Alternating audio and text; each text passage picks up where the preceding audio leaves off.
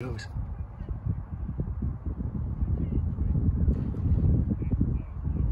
Oh, he has got a fist. Did he?